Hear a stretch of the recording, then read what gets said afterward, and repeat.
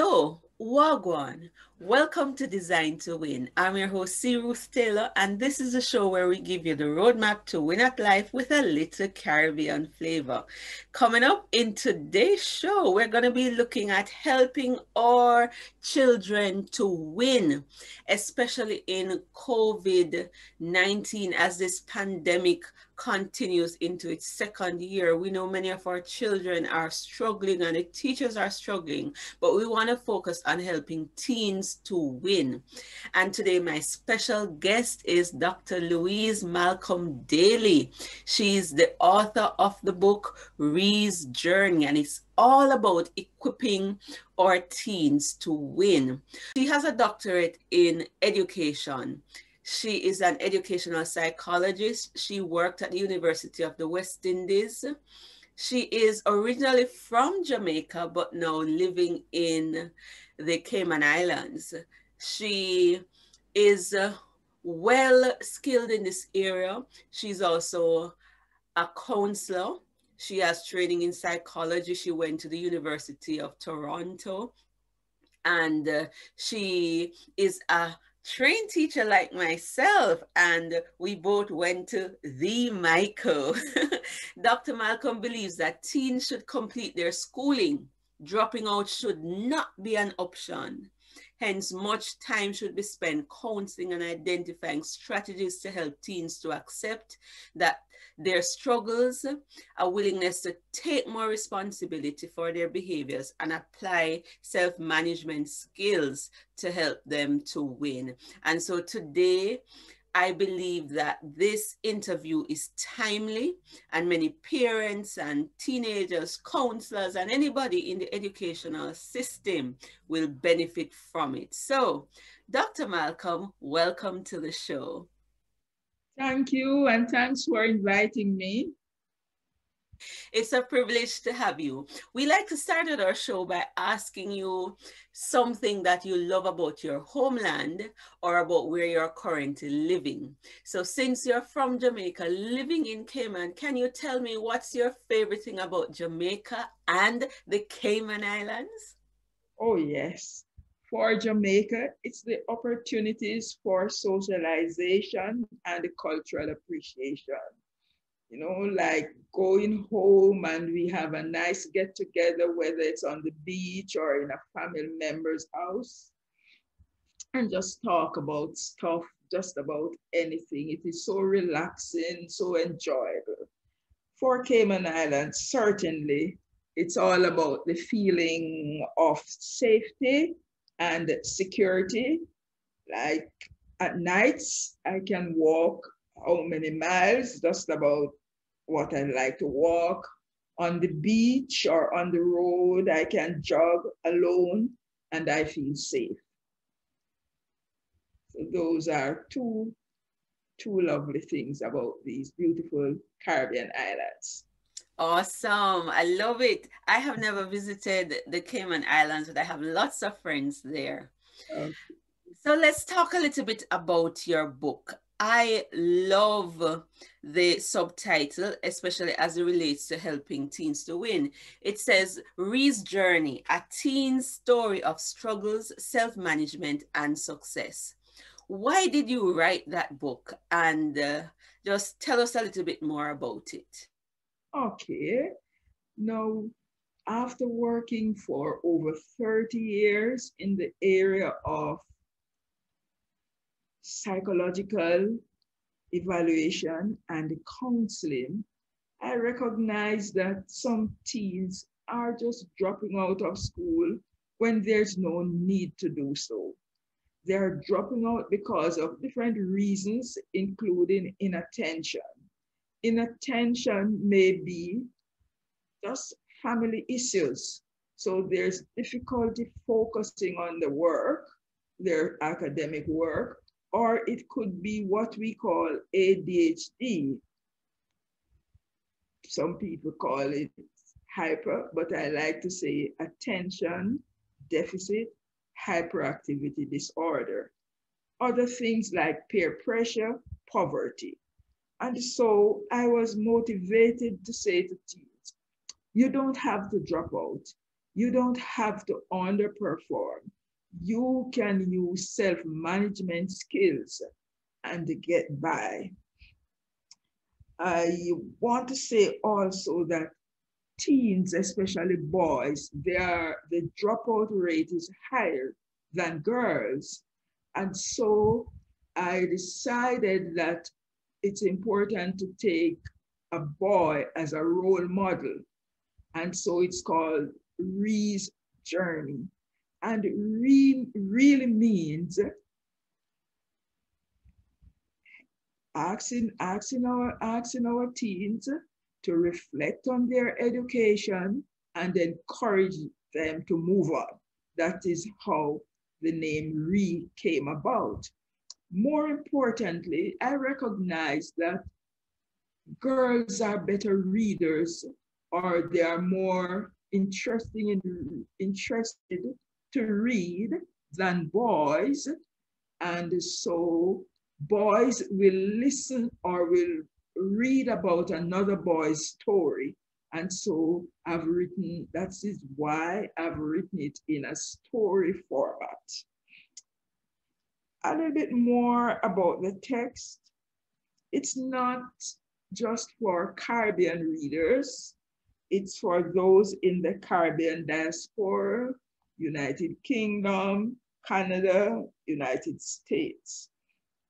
Okay, now self-management. Why self-management? That's a key issue in the text.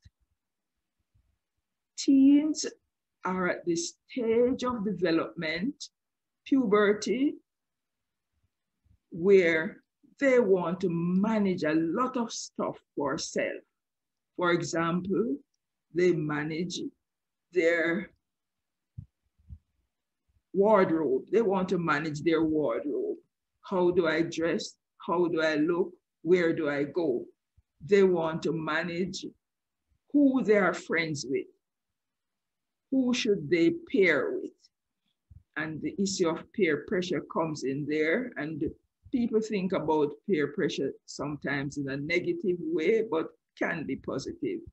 And then the schooling component. I'm very, very big on schooling, very important. I believe that children should receive an education, teens should receive an education and not drop out of school.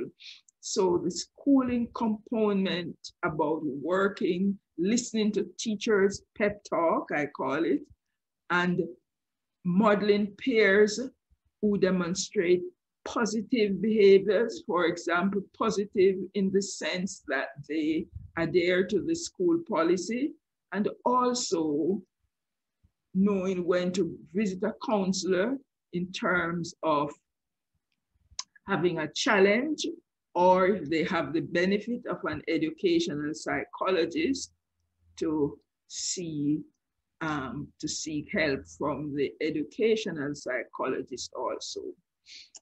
I want to say though, at this point, others may, listeners may be wondering, so what is this self-management skills? They are just simple activities, simple activities that will help a teen to complete the task of daily living independently or with support. Let's look at some of them.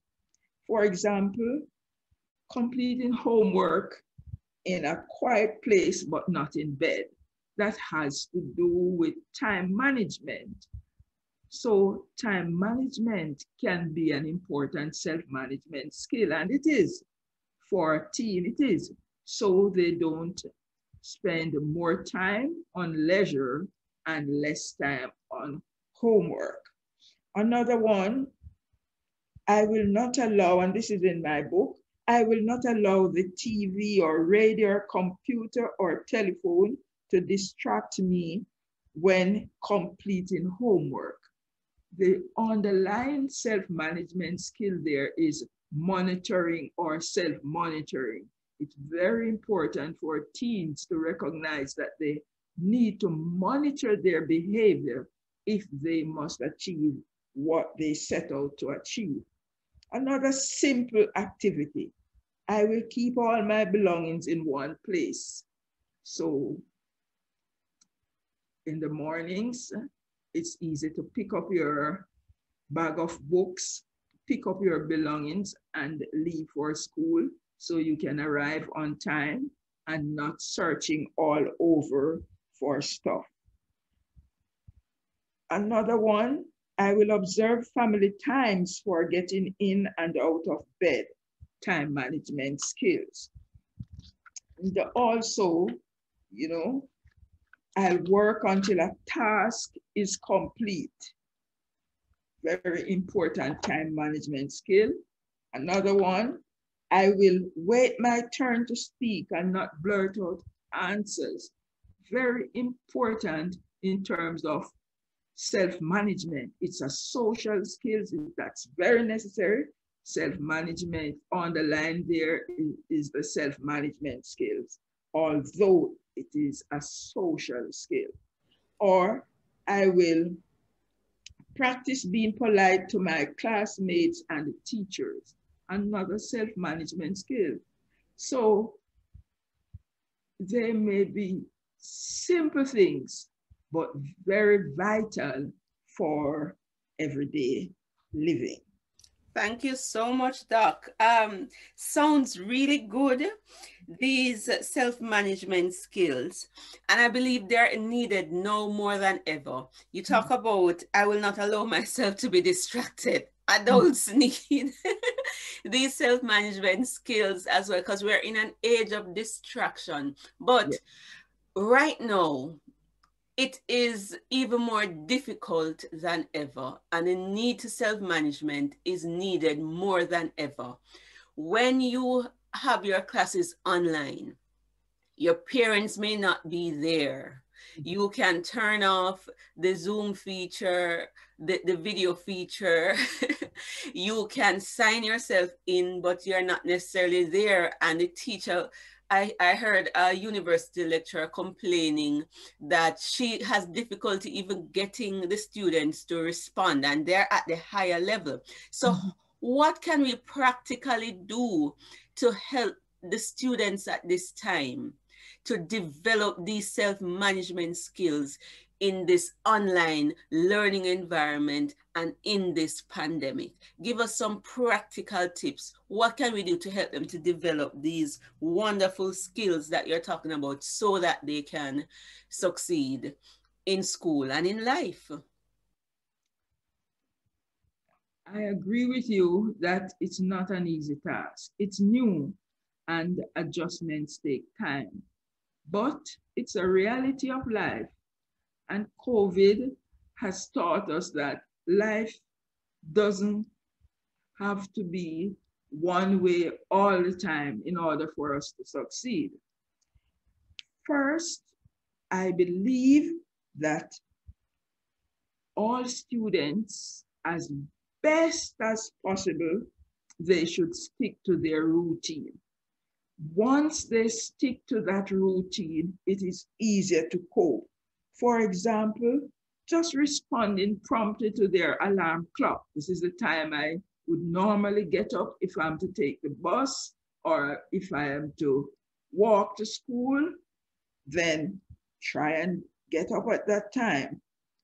Promptly to their alarm clock by saying, this is the time I should be in class. I am not going to put something else on to pretend as if I'm there while I'm not there. So keep all the routine as much as possible, maintain the regular routine. And then there is the issue of self-examination. Okay, so what did I achieve? Counselors and significant others like parents and the teachers. You know, what did I achieve today? Did I accomplish what I'm supposed to do? And I just don't want to forget in terms of teachers, encourage teachers should continue their pep talks with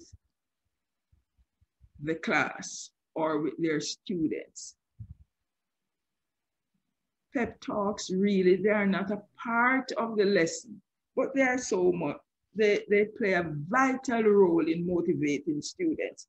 So I strongly believe that teachers should continue their pep talks with students. For example, when we say pep talks with students, we are talking about teachers encouraging students. Pep talks, they are not really a part of the lesson, but they help. For example, teachers encouraging students how to study a particular lesson, a particular topic. Teachers encouraging students to maintain healthy peer relationship. Teachers encouraging students to make appropriate use of social media. So pep talks like those from the teachers can help. So the days of stepping in and beginning to do a lecture should not be.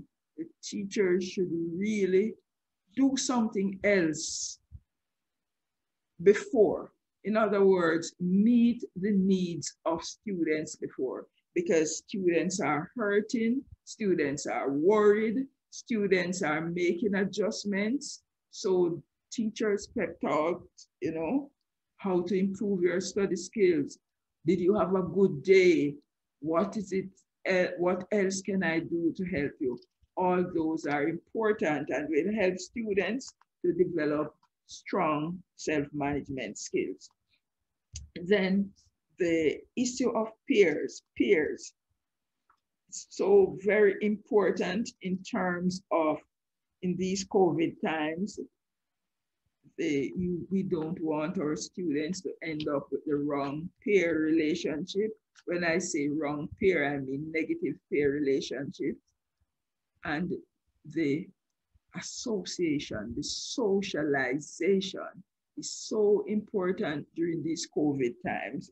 So that is an issue where parents and teachers and counselors encourage the child or the student or the teen to develop healthy peer relationship through modeling. Modeling, for example, time management skills, modeling how to follow through on instructions until a task is complete, modeling social skills, modeling study skills, modeling how to improve their self-esteem. And this is a time to when studies doesn't have to be as difficult because students can liaise with through technology with other students. So technology here can be used in a positive way. And then there's always counseling. Always counseling where the counselor can help, where the school psychologist or educational psychologist can help, and a Zoom meeting with a psychologist or counselor, group dynamics can be beneficial. Wow, those are some wonderful tips and practical. So first of all, try to develop a routine or yes. pretend as if you you have that routine of going to school by 7.30 mm-hmm. ending by 2 o'clock try to stick to that it's just that the medium has changed uh, the teacher should give the pep talks and they can mm-hmm. bring the counselors in to help the students. And I think one that can help with both the teachers and the parents is that same positive reinforcement. yes. You we can help them by giving them some mm-hmm. rewards. So we have learned so much in this little time and we're almost out of time. So I'm going to ask you, Doc, I know your book is on Amazon, Ree's Journey, and I love the fact that it's using a male as the example. But for parents listening and others, because this program is primarily aired in the diaspora, the UK, the United Kingdom, and the USA. It's not necessarily streamed in the Caribbean. How can we get in touch with you and, and learn more from you if listening and they need more help? Okay. You can get in touch with me through my wonderful publisher, or you can get in touch with me at drdal 70 mal at gmail.com. Thank you so much, Doc. And I, I can tell you listeners, I helped her to publish this book and going through it, I enjoyed the story, watching uh, Marie's development and uh, you will find practical tips to help our students to win in this difficult time. So we want to thank Dr. Malcolm for coming. And as we close out the show, put your hand over your heart and say with me or pledge to win. There's greatness in me. It's possible to live my dreams. No matter how bad it is or how bad it gets, I'm going to make it. With faith, courage, and consistent action, I'm going to make it. It's not over until I win. Ta for now, until next time.